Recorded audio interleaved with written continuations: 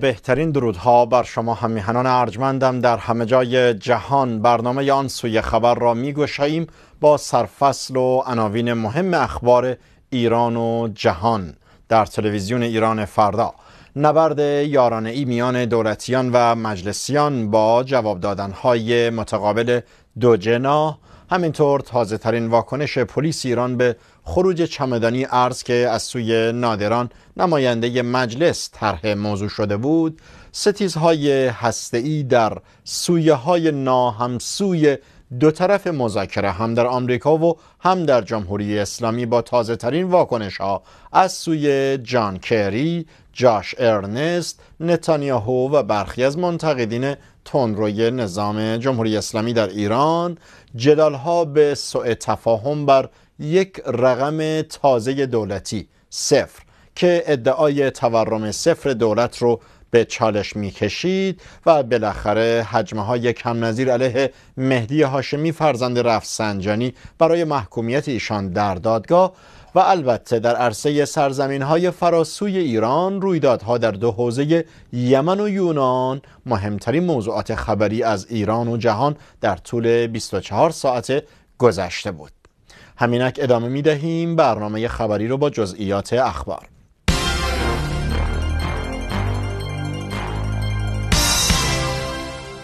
سخنان صاحب منصبان عرصه سیاست و قدرت در حوزه هسته‌ای بار بیشتری در طول ساعات گذشته بر دوش رسانه ها بر جای گذاشت تا جایی که جان کری وزیر خارجه آمریکا با حضور در کنگره نکات تازه گفت که کنگرسمن های اخیرا همسو شده علیه توافق هسته ای را آرام کند و هم بهانه ای به افراتیون داخل ایران ندهد. جان کری با لحنی ناقدانه به گروه های تندروی کنگره می گفت آنها که می‌گویند تمایلی به این توافق ندارند اساسا نمی‌دانند که توافق چیست. وزیر خارجه آمریکا در بخشی از این اظهارات که میکوشید به دلگرمی نمایندگان نگران کنگره نیز اقدام کند از جمله می گفت هنوز هیچ توافقی انجام نشده و من هشدار می دهم که صبر کنید و ببینید که نتیجه این مذاکرات چه خواهد بود. و اما در ادامه این نگرانی ها و گمانه ها همزمان دو روزنامه معتبر آمریکایی به انتشار دو رویداد البته مشابه اقدام کردند که البته به روزی نکشید و از سوی کاخ سفید نیز تکذیب شد. نخست خبر رسید که ایران و آمریکا توافق کردند برنامه هسته‌ای ایران ده سال متوقف شود. نیویورک تایمز نوشت نتیجه نهایی مذاکرات ژنو طرحی ده ساله برای تعلیق کردن برنامه هسته‌ای ایران است. این روزنامه آمریکایی مدعی شده بود که آمریکا و ایران به یک برنامه ده ساله برای جلوگیری از دستیابی ایران به مواد لازم برای ساخت بمب اتمی دست یافتند. این در حالی است که در تازه ترین رویداد کاخ سفید گزارش ها درباره مذاکره با ایران برای رسیدن به توافق ده ساله اتمی رو رد کرده است. جاش ارنست سخنگوی کاخ سفید دیروز پنجم اسفند ماه که معادل در واقع 24 فوریه بود می‌گفت که مذاکره برای رسیدن به توافق اتمی بر سر یک بازه ده سال نادرست است. این اظهارات و ادعاها در حالی تکذیب می شود که جدایی از گزارش نیویورک تایمز روزنامه آمریکایی وال استریت جورنال نیز پیش از این در گزارشی مدعی شده بود که ایران و آمریکا در حال بررسی و تفاهم برای یک بازه زمانی ده ساله به عنوان بخشی از توافق جامعه اتمی هستند. وزیر خارجه آمریکا در سخنرانیش گفت که انتظار دارد به زودی مطلع شود که آیا ایران آماده پذیرفتن یک توافق اتمی قابل قبول هست یا خیر؟ و اما آن سوی خبر ستیز هسته‌ای با اظهارات جنجالی نتانیاهو نخست وزیر اسرائیل سویه های تازه‌ای به خود گرفت. همزمان بنیامین نتانیاهو نخست وزیر اسرائیل یک هفته پیش از سفر به واشنگتن برای سخنرانی در کنگره آمریکا گفته بود که هرچه در توان دارد برای جلوگیری از توافق میان قدرت ها و ایران انجام خواهد داد ایشان در این بیاناتی که در قامت یک بیانیه‌ای بود می گفت اطلاعاتی که در روزهای اخیر به دست من رسیده نگرانی های ما درباره توافقی که میان قدرت ها و ایران در حال شکل گرفتن است را کاملا تشدید می کند. ایشان در ادامه اظهارات خود می گفت اگر این توافق امضا شود به ایران اجازه خواهد داد در آستانه بدل شدن به یک کشور اتمی قرار گیرد. نتانیاهو اضافه می کرد که این وظیفه من به عنوان نخست وزیر است که هرچه در توان دارم برای جلوگیری از این توافق انجام دهم. در نتیجه به واشنگتن خواهم رفت زیرا کنگره آمریکا احتمالا آخرین ترمز پیش از این توافق خواهد بود. کماکان با موضوع ای اما این بار از مردان اصلی مذاکره هسته‌ای جمهوری اسلامی ظریف و عراقچی میشنویم. در ترافیک اظهار نظرهای هسته‌ای جهانی از آمریکا و اسرائیل تا کشورهای منطقه وزیر امور خارجه ایران دیروز گفت باید در همه جزئیات به توافق برسیم زیرا درباره کلیات توافق وجود دارد. بنابر گزارش خبرگزاری ایسنا خبرگزاری دانشجویان ایران محمد جواد ظریف وزیر خارجه ایران روز سهشنبه با بیان اینکه این جزئیات است که وقت مذاکره کنندگان را گرفته افزوده بود اگر نتوانیم در جزئیات به توافق برسیم بسیار سخت است که بتوانیم درباره توافق صحبت کنیم. ایشان در ادامه اظهارات خود توضیح می‌داد که توافق جزئی و کلی نخواهیم داشت. که در واقع اشارتی بود به صحبت های خامنه ای که می‌گفتند یک مرحله بایستی تمام شود. بلکه معتقدیم باید توافق همزمان پیش برود. البته ما در یک لحظه نمی‌توانیم درباره همه موضوعات توافق کنیم. بنابراین لازم است که موضوعات را جلو ببریم و الان هم داریم همین کار را انجام می دهیم. محمد جواد ظریف افزوده بود درباره برخی موضوعات گامهایی رو به جلو برداشته شده است ولی در نهایت توافق به صورت یک مجموعه جزئیات و کلیات با نکات ریز آن خواهد بود از سوی دیگر سید عباس عراقچی معاون وزارت امور خارجه ایران با آمانو مدیر کل آژانس بین المللی انرژی هسته‌ای دیدار کرد و گفت در این ملاقات درباره افزایش سرعت همکاری ایران با آژانس توافق شده است. اراقچی دیدار روز سهشنبه پنجم اسفند ماه خود رو با مدیر کل آژانس بسیار خوب و سازنده خواند و گفته بود که همکاری های ایران و آژانس بین المللی انرژی اتمی با سرعت بیشتری ادامه می‌یابد. آژانس بین المللی انرژی اتمی در آخرین گزارش خود به شورای امنیت سازمان ملل متحد ضمن اشاره به پایبندی ایران به تعهداتش. در توافق موقت اتمی ژنو از پیشرفت ناچیز در روند بازرسی و تحقیقات درباره برنامه اتمی ایران خبر داده بود. در گزارش آژانس عنوان شده بود که ایران به تمامی موارد شک برانگیز در مورد برنامه اتمی پاسخ نداده. از جمله درباره دو مورد که ایران قرار بود در تابستان سال گذشته اطلاعات لازم رو در اختیار آژانس قرار دهد. اقدام لازمی که هیچگاه انجام نشده است.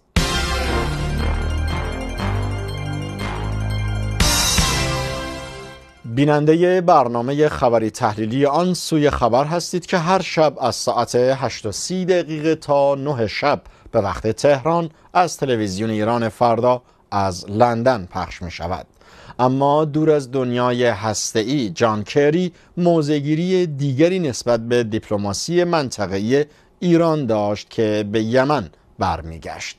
درباره حمایت ایران از حوسی ها جان کری وزیر خارجه آمریکا می‌گوید حمایت ایران از شبه نظامیان شیعه یمن بی تردید در سرنگونی دولت این کشور مؤثر بوده است. بنابر گزارش خبرگزاری فرانسه کری روز سهشنبه در سخنانش در یکی از کمیته های کنگره آمریکا کمک ایران به شبه نظامیان حوسی برای قدرت گرفتن آنها را حیاتی توصیف کرده بود. با وجود این جان کری گفت به نظر می آید رهبران ایران نیز از سیر وقایع یمن شگفت زده شدهاند و امیدوارند که شاهد یک گفتگوی ملی باشند. ایران البته همواره دخالت در امور داخلی یمن رو رد کرده است. شبه نظامیان شیعه حوسی خود رو انصار الله مینامند که معادل آن انصار حزب الله در تهران است که اواخر تابستان برای مبارزه با آنچه فساد دولت میخواندند وارد پایتخت یمن شدند. لازم به توضیح است که از ماه ژانویه حدودا دو ماه پیش که رئیس جمهوری و دولت یمن در اعتراض به اقدامات حوسی ها از قدرت کنارگیری کردند. این شبه نظامیان امور پایتخت را در دست گرفتند. در جلسه استماع کنگره جان کری گفت که در جریان مذاکرات هسته‌ای اخیر با محمد جواد ظریف وزیر امور خارجه ایران در ژنو گفتگوهای کوتاهی هم درباره مسائل دیگر صورت گرفته است که می توانند در باب یمن و همینطور اوضاع منطقی از جمله عراق و سوریه باشد.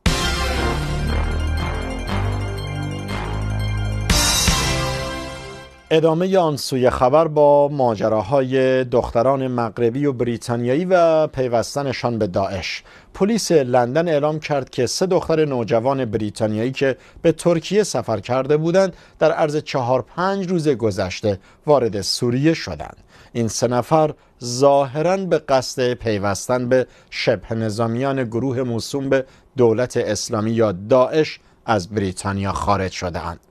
پلیس لندن اضافه می کرد که این دخترها به صورت قاچاقی از مرز کلیس در جنوب ترکیه وارد خاک سوریه شدهاند.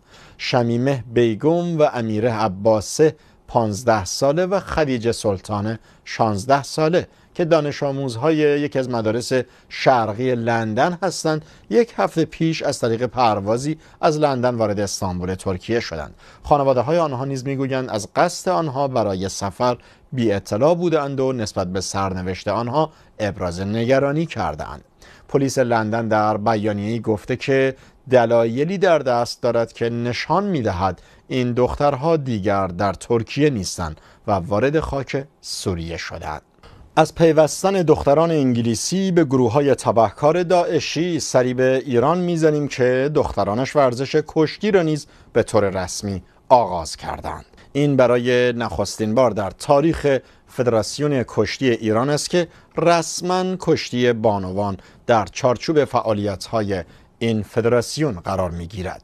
البته شروع فعالیت بانوان در فدراسیون کشتی ایران در بخش کشتی با کمربند است.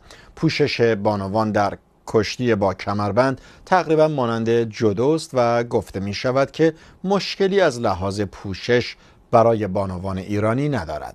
و اما گزارشی از نحوه فعالیت نیروهای اعزامی جمهوری اسلامی تحت عنوان تاجر سفیر و بازرگان که عملا به فعالیت‌های جاسوسی در پنج قاره جهان مشغولند. شبکه خبری الجزیره و روزنامه بریتانیایی گاردین از اسناد محرمانه سخن می‌گویند که نسخه های از آن به دست این دو رسانه رسیده و در آن اطلاعاتی درد شده که آژانس اطلاعاتی آفریقای جنوبی از جاسوسان جمهوری اسلامی در آن کشور گرد آورده است.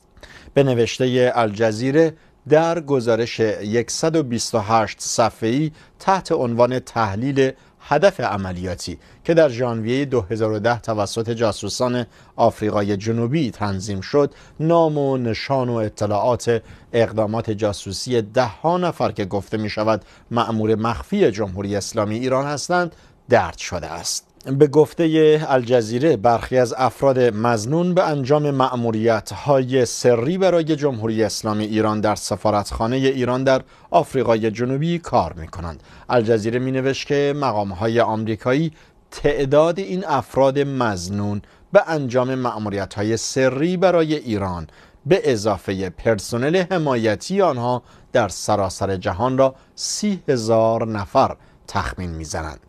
اسناد اطلاعاتی درز کرده مربوط به سازمان های اطلاعاتی روسیه، اسرائیل، بریتانیا، آفریقای جنوبی و استرالیا است. این اسناد مربوط به سالهای 2006 تا دسامبر 2014 حدوداً سه ماه پیش است. در این اسناد همچنین به یک دیپلمات ایرانی اشاره شده که مشکل قمار داشت و دولت ایران به او کمک کرده است تا قرض زیادی بالا نیاورد. در ادامه متن سند آمده است که مقامی که برای پاکسازی پرسنل ها آمده بود قصد بازگرداندن این دیپلمات قمارباز به ایران رو داشته اما به خاطر روابط سیاسی ایشان این امر ممکن نشد. یک سند دیگر اطلاعاتی آفریقای جنوبی اشاره داشت که مقام های ایرانی چندین دیپلمات سفارتخانه ایران را که وفاداریشان به احمدی نژاد زیر سوال رفته بود پاکسازی کردند. به نوشته گاردین دیگر افراد مزنون به جاسوسی برای ایران تحت عنوان روزنامه نگار، تاجر و یا کاسب عمل می کنند و بسیاری از آنها از فرش فروشی های ایرانی به عنوان پوششی برای اقدامات خود استفاده می کنند. این روزنامه بر اساس اسناد درس کرده می نوشت که یکی از مزنونان در حالی که مشروب الکلی خورده و مست بود از آن کرد که عضو سپاه پاسداران انقلاب اسلامی است ادامه برنامه آن سوی خبر با ماجراهای بیشتر و رویدادهای تازه از ایران داستان ممنوع تصویری خاتمی از سوی محتسبان دادستانی وارد فاز تازه ای شد. حسین نوشابادی سخنگوی وزارت ارشاد ایران در ارتباط با ممنوعیت انتشار مطلب در مورد خاتمی. رئیس جمهور اسبق در نشریات می گفت که تصمیم دادستانی تهران در خصوص جلوگیری از درج تصویر او و یا ذکر نامش در مطبوعات و رسانه ها را ما هم از طریق جراید شنیدیم که اشاره دارد دستور حکومتی از فرای نهادهای دولتی بوده است. غلام حسین محسنی اژه‌ای سخنگوی قوه قضاییه هفته پیش گفت که به دستور دادستان تهران رسانه ها حق ندارند تصویر یا مطلبی از محمد خاتمی رئیس جمهور پیشین این کشور منتشر کنند.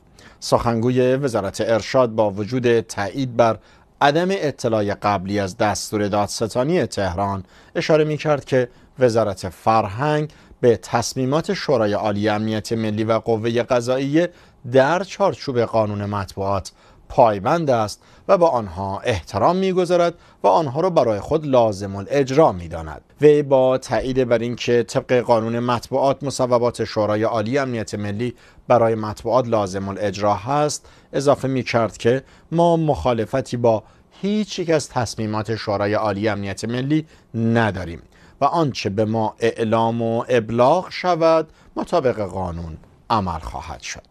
سخنگوی وزارت فرهنگ و ارشاد. همچنین درباره وضعیت جعفر پناهی هم توضیحاتی متناقض ارائه می کرد از جمله گفته بود که این فیلمساز باید پیگیر محدودیتش باشد چرا که به گفته او باعث و بانی آن خودش بوده است. به گزارش خبرگزاری ایسنا نوشابادی سخنگوی وزارت ارشاد روز سهشنبه در یک نشست خبری هم می‌گفت که وزارت ارشاد مسئولیت و وظیفه‌ای برای رفع برخی مشکلاتی که افراد خودشان به وجود می آورند ندارد. این سخنگو درباره امکان ادامه فعالیت جعفر پناهی که به 20 سال محرومیت از فیلم سازی محکوم است می گفت اگر محدودیت های او برطرف شود وزارت ارشاد از کارهایی که همسو با ضوابط باشد حمایت می کند و او هم می تواند به فعالیت بپردازد.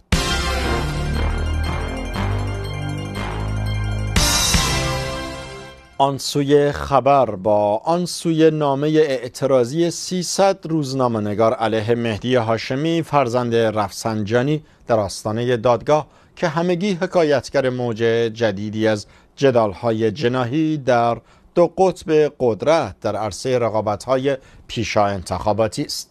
337 روزنامه نگار و فعال رسانه‌ای اصولگرا با انتشار نامه خطاب به محمد مقیسه قاضی پرونده مهدی هاشمی نسبت به کوتاه آمدن احتمالی دستگاه قضایی در مورد این پرونده هشدار دادند. این روزنامه نگاران در نامی که سهشنبه پنجم اسفند ماه منتشر کرده اند پرونده مهدی هاشمی را سنگ محک عدالت خواهی و عدالت گستری در ایران دانسته و از دادگاه خواستند که اسیر فشارها کوتاه آمدنها و استمحال خواستنها نشود. آخرین دفاعیت مهدی هاشمی پسر اکبر هاشمی رفسنجانی چند هفته پیش در دادگاه انجام شده و این متهم در انتظار صدور حکم قضایی خود است جلسات محاکمه مهدی هاشمی در مرداد سال 93 به جریان افتاد و اتهامات امنیتی و اقتصادی مختلفی علیه او مطرح شده است. روزنامه نگاران اصولگرا در نامه خود به قاضی مقیسه هشدار دادند که یقینا با شناختی که جناب عالی از مردم ایران دارید می‌دانید همانطور که در عبور از گردنه های صعب العبور نظام خون خود و فرزندان را فدا کرده اند به زم اینان در برابر بیعدالتی هم خواهند ایستاد که تهدیدی آشکار علیه خاندان هاشمی رفسنجانی است. در همین راستا برخی از روزنامه های وابسته به اردوگاه اصولگرایان نیز مطالب اصلی شماره امروز رو به این موضوع اختصاص دادند و به تعبیری با قوقا سالاری خاصی میکوشیدند که ذهن مخاطبان رو تحت تأثیر قرار دهند.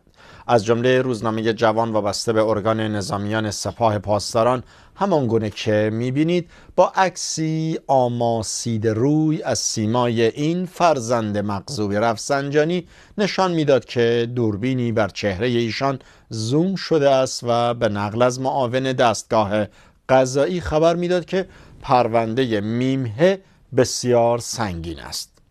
جالب توجه که عکس متهم رو منتشر کردند ولی از ذکر نام وی با دو حرف اختصاری بسنده کرده بود این روزنامه تا به اصطلاح خود حرمت حریم خصوصی متهم رو رعایت کرده باشند.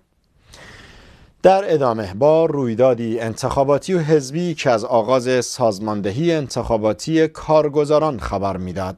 برنامه رو پی می‌گیریم حسین مرعشی از فعالان سیاسی شناخته شده اصلاح طلب و عضو شورای مرکزی حزب کارگزاران در گفتگویی با روزنامه آرمان می گفت که در حال حاضر حرکت قدرتمند و خوبی در کارگزاران شروع شده و در 25 استان کشور شوراهای استانی کارگزاران تشکیل شده است. مرعشی گفته بود برای برگزاری یک اجماع بزرگ در بهار سال 94 آماده می شویم. به گفته مرعشی امروز نزدیک به 600 تا 700 نفر به عنوان اعضای اصلی کارگزاران در شاخه های اصلی استانی و ملی آن فعالیت می کنند و نشست بزرگ بهار مقدمه ای برای کنگره بزرگ کارگزاران در شهریور سال 94 خواهد بود.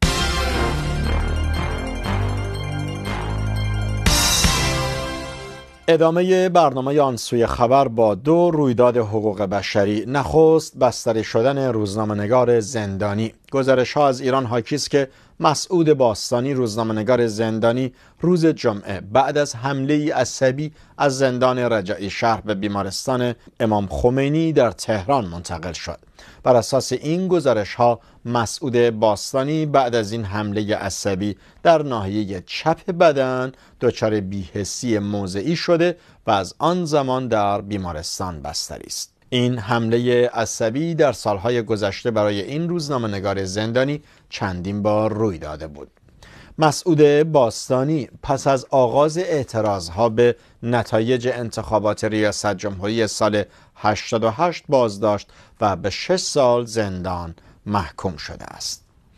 و در سوی دیگر شهر اعتراض معلمان استان بوشهر به برکناری سیاسی یک مدیر کل بیش از دو هزار تن از معلمان استان بوشهر با امضای بیانیه‌ای به آنچه که تسلیم وزیر آموزش و پرورش در برابر نمایندگان استیزاه کننده و برکناری مدیر کل آموزش و پرورش استان بوشهر می‌دانند اعتراض کردند.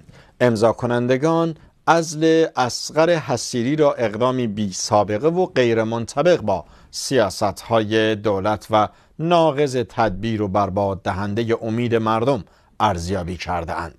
نامه ای از سوی شهست تن از نمایندگان مجلس برای استیزاه علی اصغر فانی از مدتها پیش امضا شده است. هیئت رئیسه مجلس این نامه را اعلام وصول نکرده و از نمایندگان و وزیر آموزش و پرورش خواسته است که با گفتگو مسائل را حل کنند. کمیته متشکل از سید محمد بطهایی معاون توسعه مدیریت حمید رضا کفاش معاون پرورشی و مصطفی ناصری معاون حقوقی و امور مجلس از سوی فانی برای گفتگو با نمایندگان استیزاه کننده تشکیل شده است. موسوی نژاد نماینده دشتستان اواسط هفته گذشته توانست موافقت کمیته فوق ذکر و وزیر آموزش و پرورش رو برای ازل اسقر حمیدی مدیر کل آموزش و پرورش استان بوشهر در قبال پس گرفتن امضای استیزا کسب کند. ظاهرا استاندار بوشهر مخالفت سریح خود را با ازل مدیر آموزش و پرورش به مسئولان وزارت آموزش و پرورش ابلاغ کرده است. در ماهای گذشته رسانه های اصولگرای استان تبلیغات وسیعی علیه اسقر حسیری به راه انداخته بودند. از جمله درگیری لفظی او با امام جمعه یکی از شهرستانهای بوشهر یکی از این موارد بوده است. گویا حسیری مدیر کل برکنار شده کنونی در خرداد سال 93 گفته بود که من به عنوان متولی اداره کل آموزش و پرورش استان بوشهر در روز معارفه ام قسم یاد کردم که برای انتخاب مدیرانم از هیچ کس دستور نگیرم و دستور هم نخواهم گرفت و پای این عهد خود هزینه داده و هزینه خواهم داد. و در وقت باقی مانده با رویدادی کمی متفاوت از ایران آن هم در آستانه بهار ایران گویا خانه تکانی های چهره و صورت بانوان با جراحی های زیبایی در حال افزایش است. دستندرکاران جراحی زیبایی می‌گویند تمایل به جراحی زیبایی در آستانه عید نوروز افزایش یافته است. به گفته پزشکان تمایل مردم برای جراحی زیبایی در آستانه عید نوروز به قدری افزایش می‌یابد که از چند ماه قبل و تقریبا اواسط سال برای این ایام وقت می‌گیرند. دکتر حامد باطنی متخصص جراحی پلاستیک می‌گوید تمایل مردم به دلایل مختلف در ایام نوروز و تعطیلات چند روزه برای انجام جراحی های زیبایی افزایش می‌یابد. به گفته این پزشک برای مثال اگر یک متخصص جراح پلاستیک و زیبایی در ایام عادی ماهانه به طور میانگین تا چهل عمل جراحی انجام می‌دادند. این آمار در اسفند ماه نزدیک به آغاز سال جدید به 60 تا 70 جراحی می‌رسد. برخی افراد فرصت تعطیلات طولانی رو قنیمت می شمارند تا خوب استراحت کنند و وقتی وارد محل کار یا اجتماع می شوند دچار کمبود یا ناراحتی نباشند. برخی نیز چون در این ایام به خصوص ایام نوروز از نظر مالی تقویت می شوند برای انجام جراحی زیبایی به خصوص جراحی بینی مراجعه می کنند و دسته دیگر نیز تمایل دارند برای سال جدید با چهره کاملا جدید و متفاوت در بین اقوام خیش دیده شوند. به گفته دکتر باطنی حتی برخی از ایرانیان مقیم خارج از کشور نیز وقت جراحی را در ایام نوروز هماهنگ می کنند تا علاوه بر دید و بازدید و گشت و گذار در ایران بتوانند جراحی بینی را نیز انجام دهند. به گزارش انجمن بین المللی جراحی زیبایی در سال 2013 حدود 175 هزار عمل جراحی و غیر جراحی زیبایی انجام گرفته است و از این نظر ایران در میان ده کشور اول دنیا قرار گرفت. در میان عملیات های جراحی زیبایی در دنیا بزرگ کردن پستان رایشترین عمل است در حالی که در ایران جراحی بینی شایع ترین جراحی زیبایی بین ایرانیان است. و با این خبر وقت برنامه امشب ما نیز در همین مقال و مجال به پایان می‌رسد. ضمن دعوت از شما بینندگان عزیز به تماشای تازه ترین گزارش های تدوینی همکارانمان در تلویزیون ایران فردا که بلا فاصله پس از خبر پخش خواهد شد. این جانب از محضر یکایک شما خداحافظی می کنم تا درودی دوباره و شامگاهی. دگربار آسمان آبی بامداد روشن. بدرود.